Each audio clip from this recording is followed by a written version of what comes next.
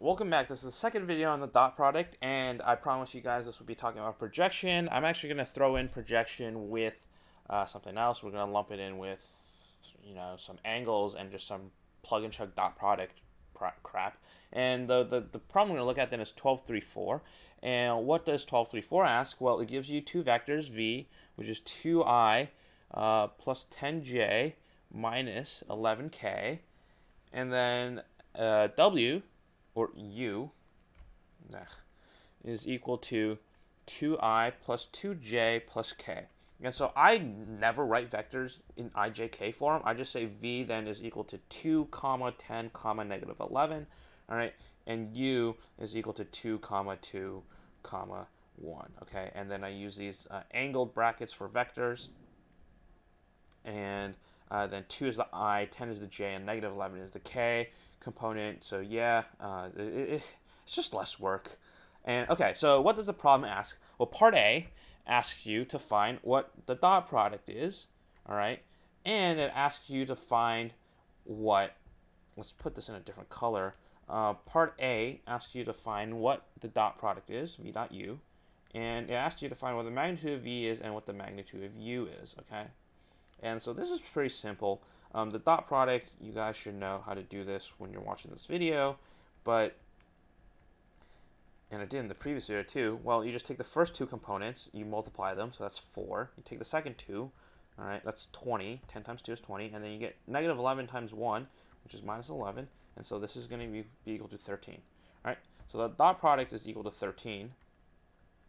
All right, what's the magnitude of v? The magnitude of v then is the square root of each component of v squared added to each other. So that's 2 squared plus 10 squared plus negative 11 squared, uh, which is then 4 plus 100 plus 121. And so this is actually the square root of 225, which, is ha which happens to be 15, okay? And then then the magnitude of u is the square root of 2 squared plus 2 squared plus 1 squared, right? Because those are the components of u. And then this is equal to root 4 plus 4 plus 1, which is root 9. And so the magnitude of u is 3. Okay, so that's part A. What's part B? Part B uh, asks you to find the cosine of the angle between u, uh, v and u, okay, or u and v, right? And so now we have to leverage property of dot product number five, which I think is, uh, or is this number five? Oh, okay. I guess this isn't a property of the dot product. It's just something that you'll have to know Okay, but anyhow, the dot product then um, of u dot v is the same thing as the magnitude of u times the magnitude of v times the cosine theta of the angle between them. So, uh, so if you have u and if you have v, um, this is going to be theta right there. And so you want to find cosine of theta.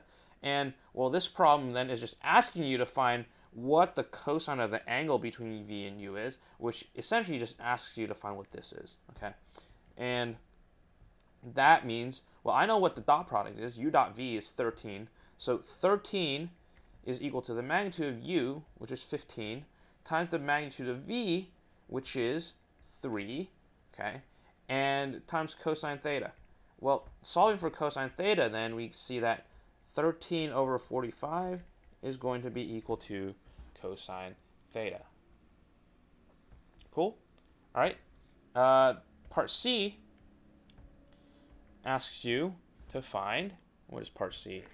Uh, the scalar component of u in the direction of v. Okay, let's skip that. Uh, let's go to D. And we'll see why we skipped C real in, in a second here. Okay, so what is D? D asks you to find the projection, uh, the vector projection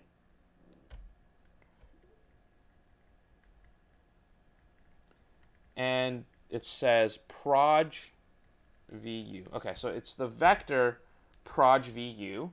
And what does that mean? it means the following. It means that, okay, see this picture up here where I have u, and let's say this other vector is v, right?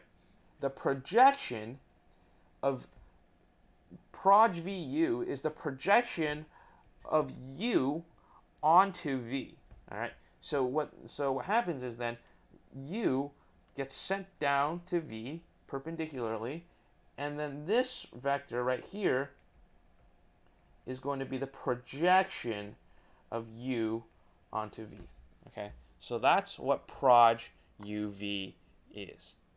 And so, uh, or proj, yeah, so it's proj little v big U, all right? And so that's what it is. Okay, and so how do we find then the vector projection? Well, it's the following equation from your textbook. Uh, proj VU is equal to u dot v over the magnitude of v squared times the vector v. All right? And now let's let's let's consider the following, right? What is u dot v, right? u dot v returns a scalar, and uh, the magnitude of v squared, this also returns a scalar, right? And so then we're going to have some scalar multiplying a vector, all right? Because v, this guy's a vector, right? Okay, so well, we already know what u dot v is. u dot v is equal to uh, u dot v is 13, right? Yeah, okay. Uh, what's the magnitude of v squared? Well, the magnitude of v squared is 225, right? If I'm not mistaken. Yeah, because it's 15, right? The magnitude of v is 15, and squared is 225, and the vector v was 2, 10, negative 11. All right, and so what's our vector? Well, then our vector, you can actually just leave it like this. You can actually just leave it as some scalar, 13 over 225 times 2, 10, negative 11. Uh, if I were grading your homework, this would be a perfectly acceptable answer. You can also just multiply the 13 into 13 over 225 into each one of them. Again, you don't have to. Um, this is a perfectly acceptable answer right here. All right. So what did I do? Right. Okay. So why did I skip part C? Well, if we go back to this row right here, right, where we have proj vu was equal to u dot v over v squared v, right? Notice this is equivalent to saying u dot v over the magnitude of v, not v squared, just the magnitude of v, times v over the magnitude of v, right? So essentially, I just split up this uh, magnitude of v squared, all right? And why did I do that? Well, what kind of vector is this guy? What is v over its magnitude? This is something you should know, right? This is a unit vector. And so what do unit vectors give? Well, this is something that'll be useful for later on, even in chapter 14, but unit vectors almost always just get tell us what direction we're going in. Okay, so unit vector tells us the direction we're going in, and then this guy out here, which is a scalar, right? Because again, u dot v is a scalar, the magnitude of v is a scalar, so I got a scalar multiplying a unit vector. Okay, and so essentially what happens is during this projection, I have a unit vector, right, going in the direction of v, and then I scale it long enough so that I get to